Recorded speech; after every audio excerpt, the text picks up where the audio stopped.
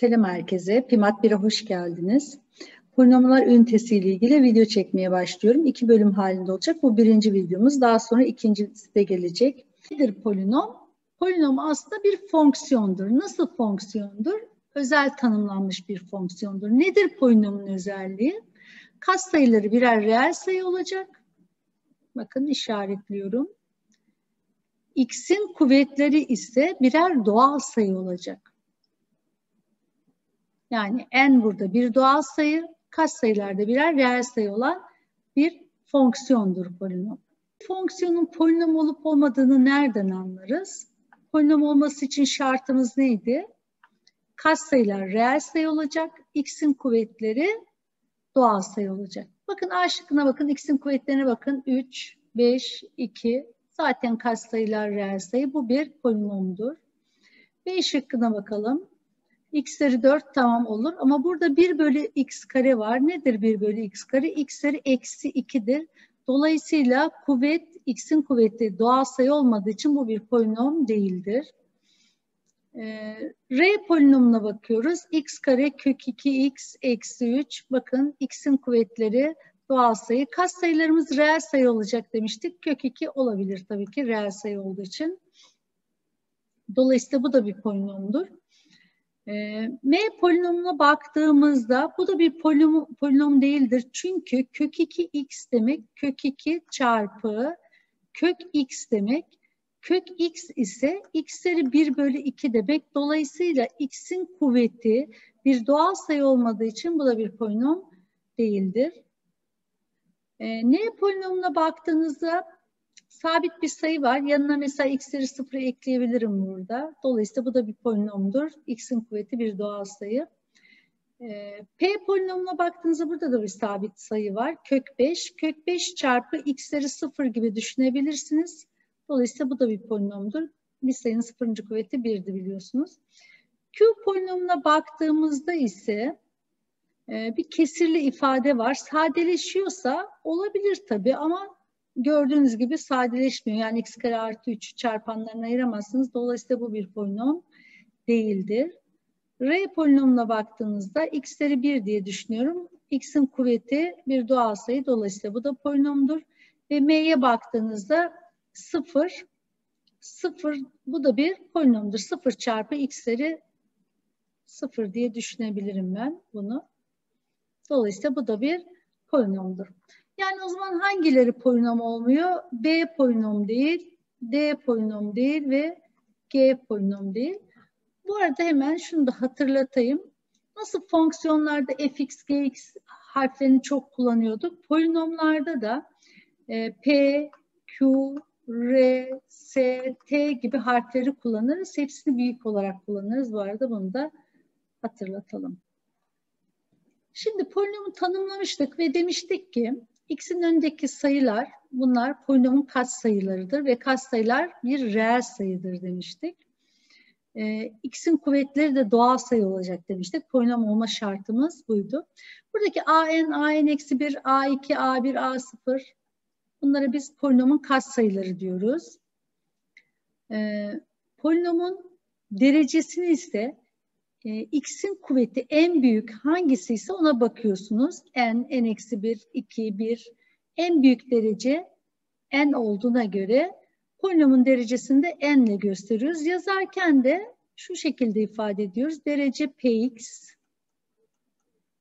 eşittir n. N'inci dereceden bir polinom. En büyük dereceli terimin katsayısı da baş katsayı olarak adlandırıyoruz. Burada en büyük dereceli terimiz x n olduğu için x kare n'in katsayısı olan an de bunun baş katsayısıdır. Ee, yanında değişken olmayan terime de sabit terim diyoruz. Burada da a sıfırımız bakın sabit terimdir. Bakın bir polinom vermiş, px polinomu. Ne istiyor? Derecesini, baş katsayısını, terim sayısını, ve kas sayılarını, sabit terimini bulun diyor. Hepsini bulalım. En büyük derecemiz kaç burada? X'leri 6. Dolayısıyla polinomumuzun derecesi 6'dır. Derece Px eşittir 6. 6. dereceden bir polinom. Baş katsayı ne demiştik? En büyük dereceli terimin katsayısı onun baş katsayısı olur. Hemen yazıyorum. Baş katsayı baş katsayısı 3. X üzeri 6'nın katsayısı. E, terim sayısı kaç terim var bakın? 3x üzeri 6 bir terim. 5x küp, 4x kare ve 2. Artı eksi ile yani toplama çıkarma ile ayrılmış ifadeleri bir terim diyorduk. Dolayısıyla terim sayımız 4. E, kat sayıları, kat sayılarını yazalım hemen. 3, 5, eksi 4 ve 2. Tamam. Sabit terimini yazalım. Yani yanında değişken olmayan, x olmayan ne var burada? Gördüğünüz gibi 2. Sabit terimi de 2'dir.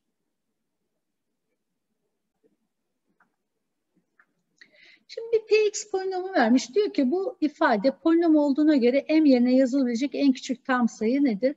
Ne demiştik? Bir fonksiyonun polinom olabilmesi için şartımız neydi? x'in kuvvetlerinin bir doğal sayı olması.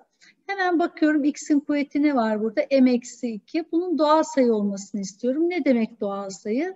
Sıfıra eşit ya da sıfırdan büyük sayı. Dolayısıyla m de 2'ye eşit ya da büyük olur. m yerine yazılabilecek en küçük tam sayı nedir? 2'dir. Bu ifadenin polinom belirttiğini söylüyor. Buna göre emin alabileceği değerler toplamı nedir? Şimdi şartımız neydi? Tekrarlıyorum. X'in kuvvetleri mutlaka doğal sayı olacak. Burada X'in kuvvetinin biri 6 eksi m. Bir tanesi de 20 bölü m. Yani ne düşünüyorum ben? 6 eksi m sıfıra eşit ya da büyük olacak.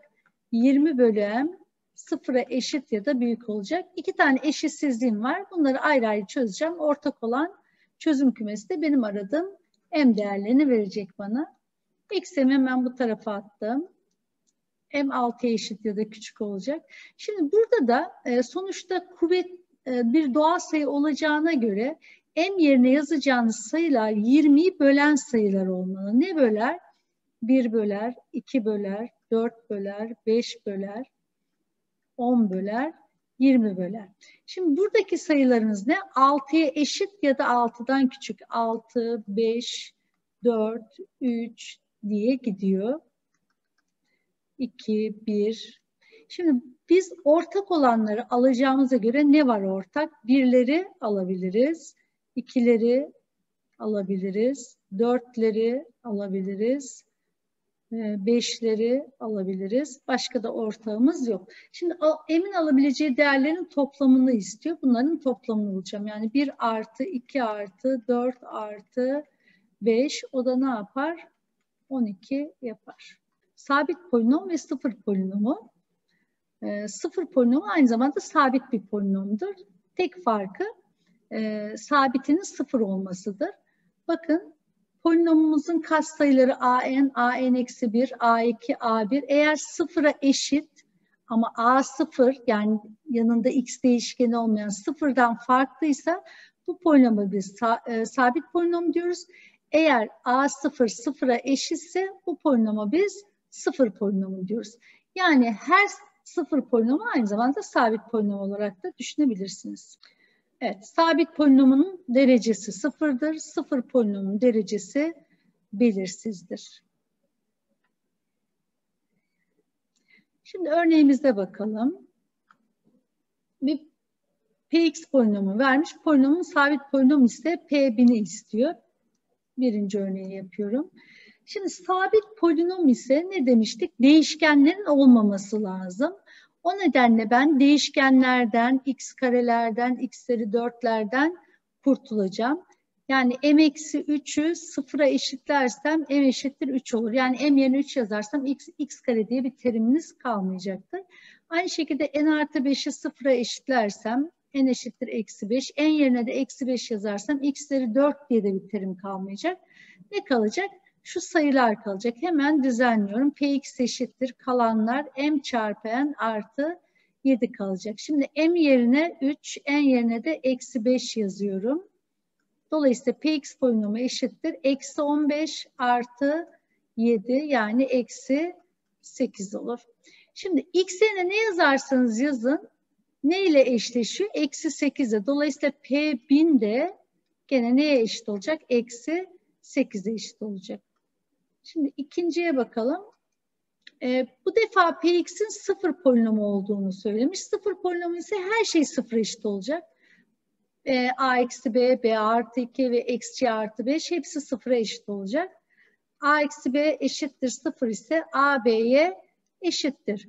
B artı 2 sıfır eşitse B eşittir eksi 2. Dolayısıyla buradan A'nın da eksi 2 olduğunu söyleyebiliriz. Ve eksi C artı 5 sıfır eşitse C buradan 5 olur. A, B, C'nin toplamını istemişti bizden. Eksi 2, eksi 2 artı 5 o da eşittir 1 olur. Evet. İki polinom birbirine eşit ise aynı dereceli terimlerin katsayıları birbirine eşittir. Ee, örneğin Px, Qx polinomuna eşitse Px'in x'leri n olan e, teriminin katsayısı olan an ile Qx'in x'leri n'in katsayısı olan bn birbirine eşittir. an eksi 1, bn eksi 1. Dolayısıyla a1, b1 ve a0, b0'a eşittir. Bir örnek üzerinde gösterelim hemen.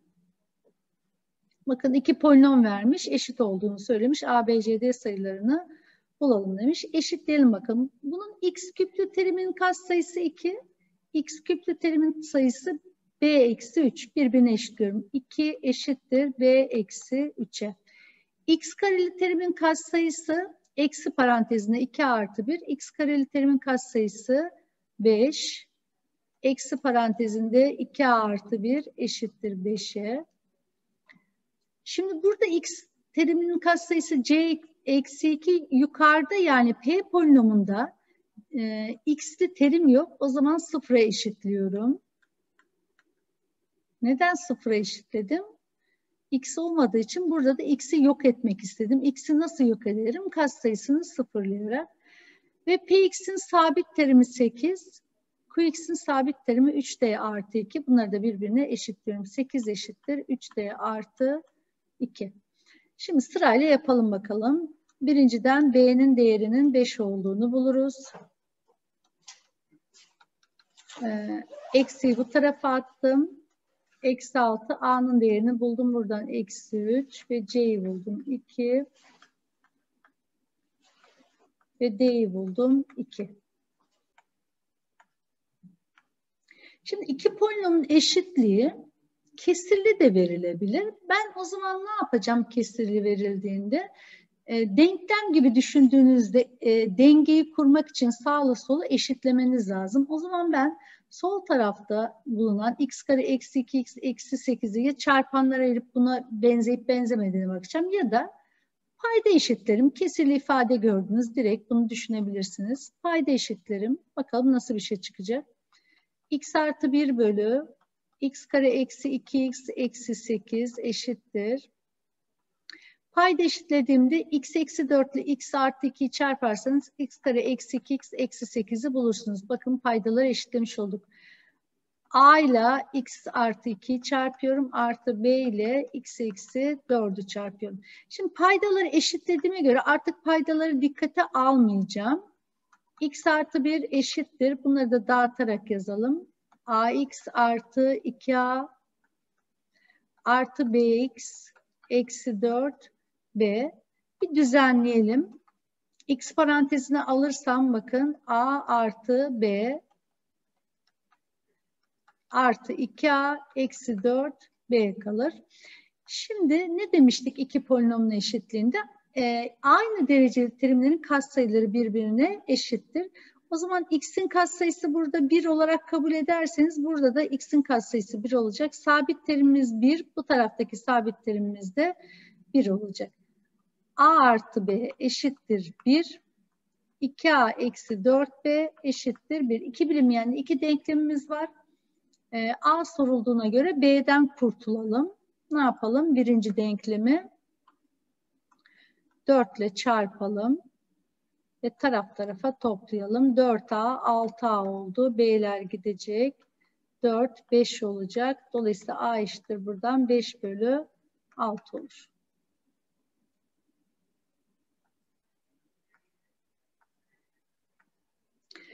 Px bilindiğinde PQx'i bulma. Bunu fonksiyonlarda çok yapıyorduk. fx verildiğinde gfx'i bulma. Aslında bileşke fonksiyon yapıyorduk hatırlarsanız. Burada benzer şeyler yapacağız. E, fonksiyonlardaki gibi düşüneceğiz. Soru, soru üzerinden göstereyim. Bakın bir px polinomunu vermiş. p3 istiyor. Bir de px artı 1'i istiyor. Önce p3'ü bulalım. Yani x gördüğünüz yere ne gelmiş bakın? 3 gelmiş. O zaman ben burada x gördüğüm yere 3 yazıyorum. 4 çarpı 3'ün karesi eksi 3 çarpı 3 artı 2. 9, 9 kere 4, 36, eksi 9 artı 2 çıkardık. 27, 29 olur. Şimdi B şıkkında P x artı 1'i istemiş.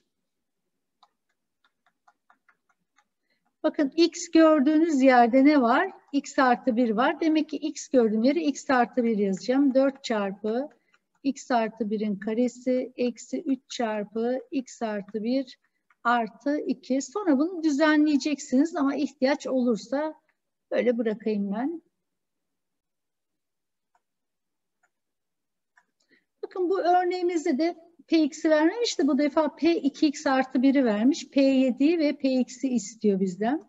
Şimdi önce P7'yi bulalım. Bakın 2x artı 1 e, yazan yerde ne var? 2x artı 1 yazan yerde 7 var. O zaman şöyle düşünüyorum ben. x yerine ne yazarsam 2x e, artı 1'in değeri 7 olur. Ee, hemen bunun 3 olduğunu görebilirsiniz. Göremediğiniz zaman da şunu yapacaksınız. 2x artı 1'i 7'ye eşitleyeceksiniz. 2x eşittir 6, x eşittir buradan 3. Şimdi x gördüğüm yere 3 yazıyorum. 4 çarpı 3'ün karesi eksi 2 çarpı 3 artı 2. Evet. 9, 36, eksi 6 artı 2 o da 32 olur. Diğer şıkka bakalım. Burada da Px'i istemiş. Şimdi bakın Px'i bulmak için şuraya P 2x artı 1'i bir yazayım. Şimdi şuranın ne olmasını istiyorum ben? X olsun istiyorum. Ee, nasıl yapacağım bunu? Nasıl yapıyordum fonksiyonlarda hatırlayın. F 2x artı 1'i vermiş. fx istiyor. Nasıl yapıyordum? Ee, bunun tersini alıp e, x gördüğüm yere yazıyordum. 2x artı 1'in tersi nedir? Şöyle diyelim. E, qx diyelim buna biz. 2x artı 1 olsun. 2x artı 1'in tersini alıyorum. Q fonksiyonun tersini alıyorum. Pratik olarak ters alma işlemini hatırlıyorsanız bunun x eksi 1 bölü 2 olduğunu bulursunuz. Hatırlamıyorsanız nasıl yapacağız onu da göstereceğim. Soruyu tamamlayalım önce. Demek ki x gördüğüm yere x yerine bunu yazacağım. Yazıyorum. Px eşittir diyorum. x gördüğüm yere x eksi 1 bölü 2 yazıyorum. 4 çarpı x eksi 1 bölü 2'nin karesi eksi 2 çarpı x eksi 1 bölü 2 artı 2. Sonra düzenlemeniz gerekiyor. Ben bu haliyle bırakıyorum ama önce şu ters fonksiyonu bir hatırlatayım size şuraya. Mesela fx eşittir 2x artı 1 verildi. Bu fonksiyonun tersini tabii pratik yolları vereceğim biraz sonra. Fx demek ne demekti? y demekti. y eşittir 2x artı 1. Biz y eşittir şeklinde verilen ifadeyi x eşittir şeklinde yazmaya çalışıyoruz. Yani x'i yalnız bırakmak istiyorum. O yüzden biri bu tarafa attım. Her iki tarafı ikiye böldüm. Dolayısıyla x eşittir y eksi 1 bölü 2. Sonra tersini bulduktan sonra yani x eşittir şeklinde yazdıktan sonra y gördüğüm yere x yazıyorum. x eksi 1 bölü 2'dir. Veya bunun pratik bir yolu vardı. Onu göstermiştik. Şimdi onu göstereyim. Sabit terim ve katsayılar toplamı bulmak için sabit terim için x yerine 0 yazacağız.